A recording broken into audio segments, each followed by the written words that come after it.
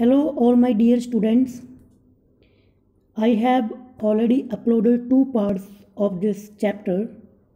दो वीडियो इस चैप्टर की मैं ऑलरेडी अपलोड कर चुका हूँ ये आपका थर्ड पार्ट है आपके चैप्टर जिसका नेम है हु डिड पैट्रिक्स होमवर्क दो पार्ट मैंने अपलोड कर चुका हूँ, ये थर्ड पार्ट है और लास्ट पार्ट है हम चैप्टर की जो समरी है वो इस पार्ट के अंदर कंप्लीट कर लेंगे हमने आपकी बुक के सिक्स स्टेंजर तक, सिक्स पैराग्राफ तक कंप्लीट कर लिया था। आज हम पैराग्राफ नंबर सेवन से स्टार्ट करेंगे। So let's start from here हमने सिक्स पैराग्राफ में देखा था कि थोड़ा सा उसको रीड कर लेते हैं।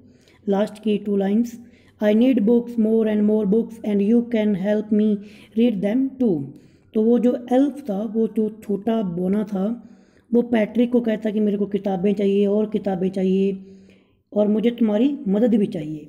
अब पढ़ते हैं paragraph number seven. As a matter of fact every day as a matter of fact every day in every way that little elf was a nag Patrick was working harder than ever and was it a drag अब क्या हुआ भाई? वास्तव में ना प्रत्येक दिन हर तरह से वह बोना तंग करने वाला बन गया। डेली उसको बुक माँगता, कभी कहता, मेरी हेल्प करो, मेरे को मैथ नहीं आता, मेरे को ये मीनिंग नहीं आता, मेरे पास बैठो, मेरे को समझाओ। अब पैट्रिक तो फ्री रहना चाहता था, बट वो कह रहा है, यहाँ पे अपोजिट हो रहा है। वो बोना बार बार उसको डिमांड करता है कि मेरे को ये समझाओ ये समझाओ ना? तो little elf was a nag nag क्या होता है? नैग जो मतलब कि उबाऊ। जो तंग करने वाला आप कहते हो तंग करने वाला, आप साइड में मीनिंग देख सकते हो यहाँ पे। Nag nag one who travels with someone all the time by complaining and asking them to do something.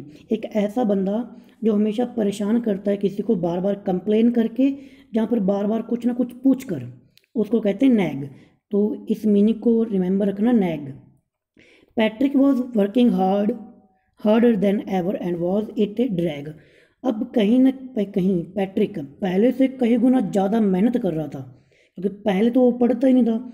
अब किसी ना किसी तरीके से वो इन्वॉल्व है अपने होमवर्क के अंदर तो कहीं ना वो हार्ड वर्क कर रहा है। और इट वॉज़ ए ड्रैग और ये काफ़ी उबाऊ भी था। ड्रैग इसका मीनिंग आप देख लीजिए साइड में ड्रैग एन इनफॉर्मल वर्ड है, जिसका मीनिंग होता है समथिंग डल एंड अनइंटरेस्टिंग क्योंकि ये बड़ा उसके लिए वो लाइक ही नहीं करता। Patrick didn't like do homework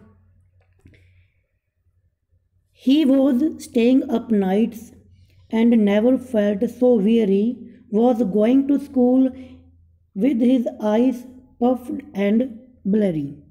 अब पैट्रिक क्या कर रहा था? He was staying up nights यानी कि रातों को जागता देर तक क्योंकि उसको उस एल्प को समझाता कि मैथ में क्या करना है इसका क्या आएगा। एल्फ तो सिर्फ़ आई थिंक ओनली राइट करता था। बट समझाता कौन था भी कैसे करना है क्या इसका क्या लिखना है वो सारा कुछ पैट्रिक करता था। Had never felt so weary was going to school अब वो इतना ज़्यादा तो वो, वो कभी पढ़ा ही नहीं था इतनी मेहनत उसने कभी की ही नहीं थी। और गोइंग टू स्कूल विद जब वो स्कूल जाता तो उसकी आँखें कैसी होती थी? पप्ड पप्ड यानी कि सूजी हुई। एंड ब्लरी ब्लरी यानी कि ब्लर होता ना धुंधला सा यानी कि आँखों में नींद होना। ऐसी। क्योंकि वो बहुत ज़्यादा हार्ड वर्क कर रहा है बट उसको खुद को पता नहीं है ना पैट्रिक को। पैट्रिक तो यही सोचता है कि वो बोना मेरा होमवर्क करके दे रहा है। तो अब पढ़ते हैं paragraph number eight finally the last day of school arrived and the elf was free to go अब स्कूल का आखिरी दिन आ गया लास्ट डे और अब वो एल्फ यानी कि वो छोटा बोना अब फ्री था जाने के लिए, क्योंकि शर्त ये लगी थी ना कि तू मेरा होमवर्क कर दे पूरा, फिर तू जा सकता है। क्योंकि वो बिल्ली से उसको पीछा छुड़वाया था पैट्रिक ने। As for homework there was no more और रही बात होमवर्क की, अब वो भी कंप्लीट हो चुका था। So he quietly and slyly slipped out the back door तो वो जो छोटा बोना था होमवर्क पूरा हो गया, शर्त पूरी हो गई तो वो क्वाइटली एंड स्लाइली स्लाइली क्या होता है? साइड में मीनिंग लिखा हुआ है सीक्रेटली यानी कि बिना बताए हुए घर के पिछले डोर से चला गया। अब आते हैं paragraph number nine. Patrick got his A's यानी कि पैट्रिक ने अपनी जो ए ग्रेड उसको चाहिए थी वो मिल चुकी है, क्योंकि इसका होमवर्क पूरा हो चुका है। ठीक है? पैट्रिक ने क्या गॉट किया? A grade his classmate were amazed उसके जो क्लासमेट थे, सहपाठी थे वो कहते एकदम से अमेजिंग सरप्राइज़ हो गए भी इतने ए ग्रेड कैसे हासिल कर लिए तो पढ़ता तो था नहीं। नालायक था ना स्टार्टिंग के अंदर मैंने पढ़ा था। हिज से smiled and were full of praise उसके टीचर उस पर स्माइल कर रहे थे और उसकी प्रशंसा कर रहे थे। प्रेज करना, प्रशंसा करना। एंड हिज पेरेंट्स और उसके माता पिता they wondered what had happen to Patrick वो तो एकदम से वंडर्ड थे पर हैरान थे। कि आखिर में पैट्रिक के साथ ऐसा हुआ क्या है? इसने ए ग्रेड ले ली। ये तो पढ़ता तो था ही नहीं, क्योंकि घर वालों को तो पता ही होता ना कि हमारा बच्चा घर पे कितना पढ़ता है। He was now the model kid तो पैट्रिक अब क्या बन चुका था? मॉडल किड मॉडल किड यानी कि एक बढ़िया intelligent student you can see clean his room वो अपना रूम साम खुद करता है। डिड हिज चोर्स घर के जितने भी काम है वो खुद करता है। चोर्स चोर्स होता है घर का काम, घरेलू कार्य। हम कहते हैं ना होम चोर्स या फिर होम चोर्स घरेलू कार्य।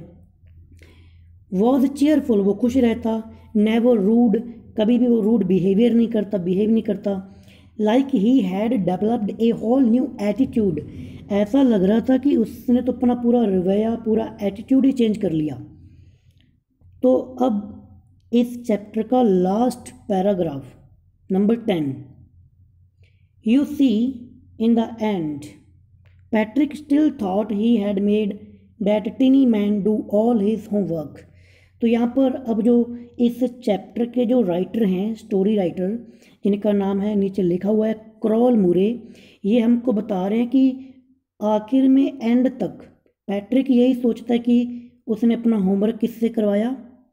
उस एल्फ से, उस बोने से, उस टिनी मैन से। और ध्यान रखना, आपको अब इस पैराग्राफ में आपको एक क्वेश्चन का आंसर मिलने वाला है। आपके चैप्टर का नेम क्या था? हु डिड पैट्रिक्स होमवर्क कि पैट्रिक का होमवर्क किसने किया? अब यहीं पर साफ़ साफ़ शब्दों में हम उसको रीड करेंगे। राइटर खुद हमें बताएगा। But I will share a secret तो राइटर हमें कह रहा है कि मैं एक ना सीक्रेट एक रहस्य आपके साथ शेयर कर रहा हूँ just between you and me जो सिर्फ़ आपको पता है और मेरे को पता है।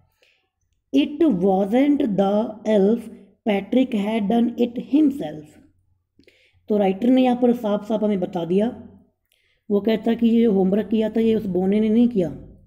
ये सारे का सारा होमवर्क कहीं ना कहीं पैट्रिक ने खुद ने किया है। उसने तो सिर्फ़ लिखने का काम किया राइटिंग का। तो this was the answer this is the answer of your chapter name who did Patrick homework now you can give the answer you can see Patrick's homework was done by Patrick elf did not did he his homework okay okay, तो ये था आपका chapter हमने पूरी summary complete कर ली है। अब next part के हम इसके क्वेश्चन आंसर को डिस्कस करेंगे। So if you are new here then you can subscribe my channel and press the bell icon thank you for watching bye bye